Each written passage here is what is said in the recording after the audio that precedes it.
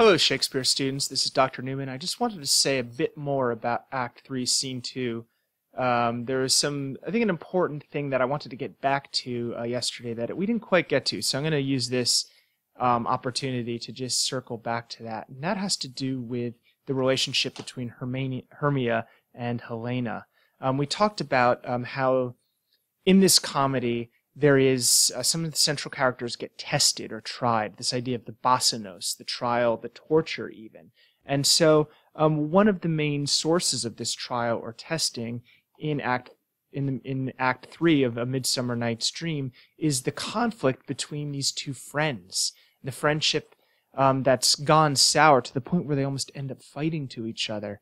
Um, and I want to just look briefly again at um, Helena's uh, impassioned words to Hernia, to Hermia, to Hernia, um, in uh, Act Three, Scene Two. And these are lines 198 to, oh, sorry, yeah, 198 to 218. Um, where, and if you see before you uh, on the screen here, this is the original spelling from First Folio, uh, and her.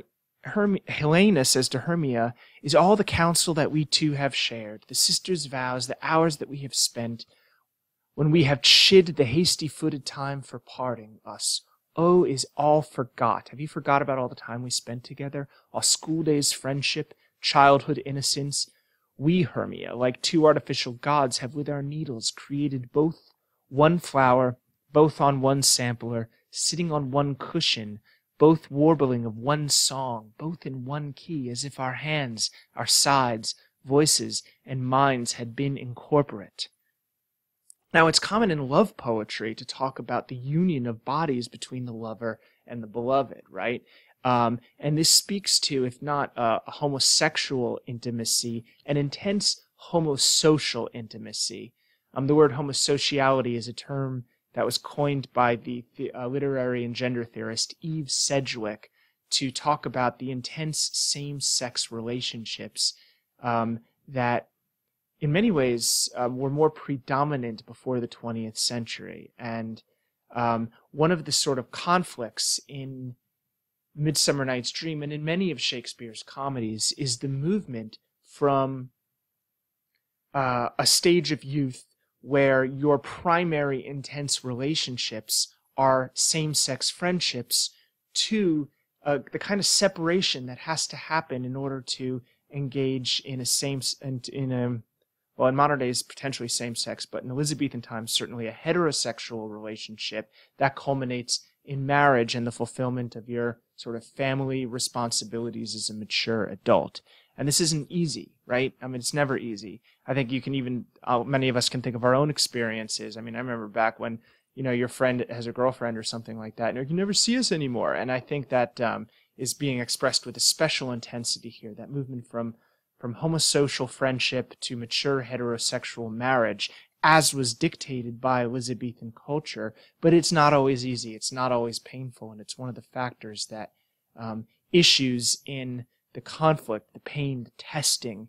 Um, and so we grew together, she says, like to a double cherry. And that's, of course, an image of sexual maturity, seeming parted, but yet a union in partition union and partition is an image for two lovers that's used by uh, John Donne and William Shakespeare and many other love poets. So this really is a, an, an, a passionate language that Helena is using. And some have wondered, you know, she's running into the woods to chase Demetrius, who's chasing Lysander and Hermia. Who is she really jealous of, though?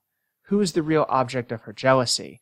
Um, likewise, some have, have asked, you know, when Hermia uh, sees Lysander run off and, and nobody loves her, we um, we can ask was it really Lysander that she loved, or was it being loved? Is it this idea of being in love with the idea of being loved? We'll see this idea of being in love with lo- love again when we read Twelfth Night and meet Duke Orsino, who's just likes to pose as this sort of Renaissance lover. Um, anyway, I'm just just wanted to shed a little more light on this, what I think is a big theme in Shakespeare's comedy, and um, in this play in particular, and that's this this sort of conflict between love and uh, between romantic love and friendship and the um, intense importance of friendship for Shakespeare and for the people who inhabit Shakespeare's plays. So um, if you have any questions about this, feel free to bring it bring them to class. But we'll be moving on to Acts 4 and 5 and hopefully finishing a Midsummer Night's Dream tomorrow. Um, so have a good day. Bye.